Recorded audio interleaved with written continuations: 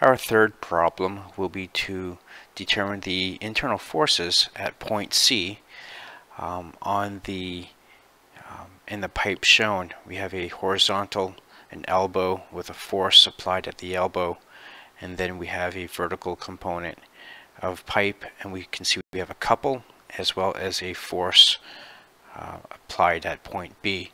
We have the magnitudes of our forces and couples, the magnitudes and directions, and these are shown in vector format, and that is how we will solve this problem. Here I have started to create the free body diagram, uh, including the distances and the coordinate system and the body free of its surroundings. And I will go ahead and uh, continue by just uh, including the applied forces. Uh, when I do that, I have a force 2 here. We'll show that as a vector.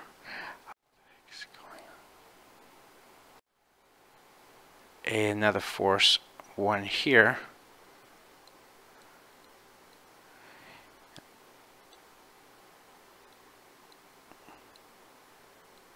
And then we also have a couple shown there, which is vertical. And then at C we have our internal forces, and so we're going to, show the three uh, components of force. In the x direction, we'll call it Cx. In the y direction, Cy, and it's pointing to the negative y direction. And then Cz in the vertical direction. And then we'll do the same thing with our couples since it acts like a fixed support uh, we have um, no motion in the XYZ directions and no rotation in the XYZ directions. So we'll have MX, MY, and notice my double arrows that I use for um, couples. And again, that's a preference of mine, not necessary. And then MZ. So we will sum our forces to determine our internal forces at point C. So the sum of the forces is equal to 0. Again, we are doing this with a vector solution. So we have our force vector 1 plus our force vector 2. And then we'll write our um, force vector C, which is our resultant of Cx plus Cy plus Cz and those three force vectors are equal to 0. Well, we have F1, which is minus 24 i hat, minus 10 k hat,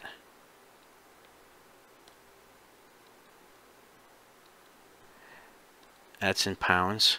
And then we have C2, um, sorry, F2, which is minus 80 i hat, that's in pounds. And then we have C, which is uh, the components of Cx, Cy, and Cz. Cx i hat. This can be a minus Cy because it's pointing negative. Cyj hat plus Czk hat, just enough room. And the sum of all these are equal to zero. Then at this point we can just um, isolate our ijk's. So in the x direction, which is the i direction, we have a minus 24, minus 80, and a cx. So minus 24 i hat, or actually we don't need the i hat, but minus 24 pounds, minus 80 pounds plus cx is equal to 0. cx is equal to a minus, actually it's positive, pos positive 104 pounds. In the y direction, we have, which is j, we have a minus cyj, or minus cy is equal to 0, so we have cy is equal to 0. And the z direction, which is our k hats, we have a cz and a minus 10k, so we can, by observation, see that CZ is equal to 10 pounds. Now we need to sum our moments and what we'll do is we're going to sum our moments about point C here. And the sum of our moments about point C is going to equal to 0 and so our sum of our moments we'll put that in parentheses about point C is equal to 0 of course this is in vector format and so what we'll have here is we'll have M that's our vector up here, our moment vector. Then we'll add our resultant of mx, my, and mz, and we'll just call that mc. Then we're also going to have a vector of force caused by F1, and so we're going to have m1, and then we're going to have another vector of, uh, I'm sorry, moment of force is what I mean to say, another moment of force by F2, we'll call that M2. So the sum of those three are equal to 0. So M is equal to, and that's given in our problem, is equal to a minus 30k hat. Pound feet. a resultant at C is equal to mx i hat. And it's going to be a minus my because it's a negative y direction. That's a j hat plus mz k hat and that's positive. and then we have m1 Again, M1 is our moment of force caused by F1. And so that's going to equal to R1, our position from C. We can call that point 1. Call this point 2 if we'd like. So this is going to be R1. This will be R2. So moment of force M1 is going to be R1 cross F1. and then M2 similarly will be R2 cross force vector 2.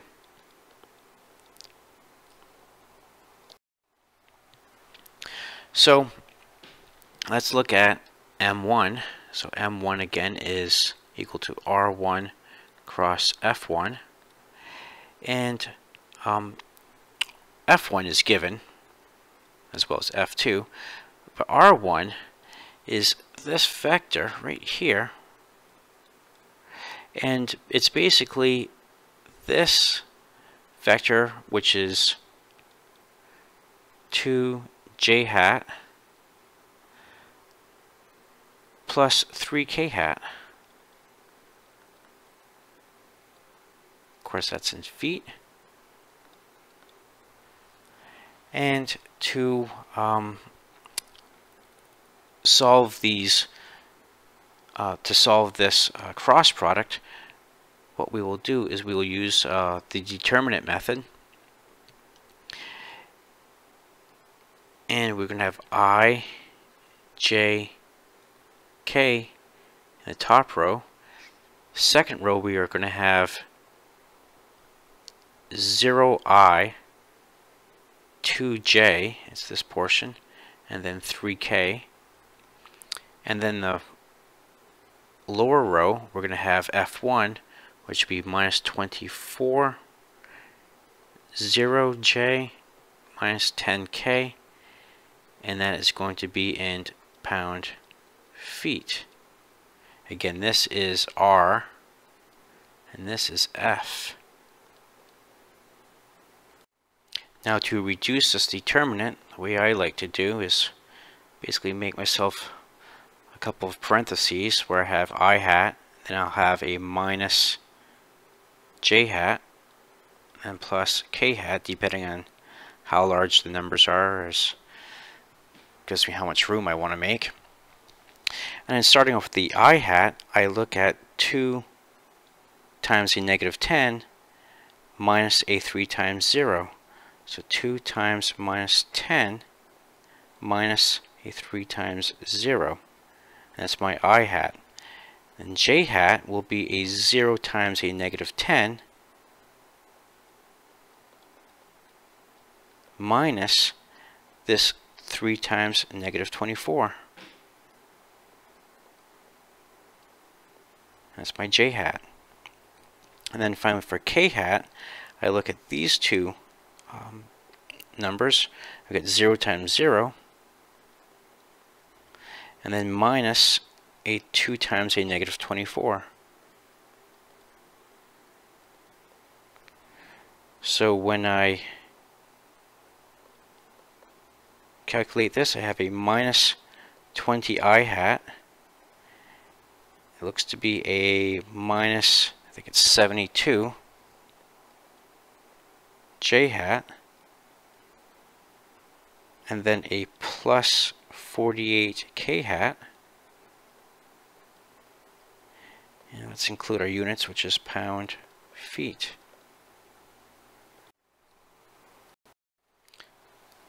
Now we solve M2, which is equal to our position vector R2, which is from C to point 2 here, cross F2, which is given. R2 is equal to 2 feet in the j direction, so 2 j hat. and M2 is equal to 2J cross a minus 80K pound feet and that results in 160 magnitude in the K direction pound feet. We have our moments all summarized here. We've got our couple that was applied. We have our internal uh, reaction at point C, that's the resultant, and then we have our moments of force, M1 and M2. And so just as we did with our forces, we can look at our IJK, or XYZ directions. And so for X we have MX and minus 20, so we'll sum those. mx minus 20 is equal to 0. Mx is equal to 20 pound feet. That's the units for all these moments.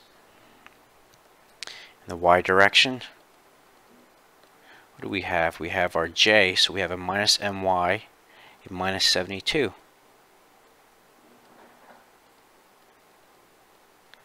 sum of those equals 0, so my is equal to negative 72 pound-feet.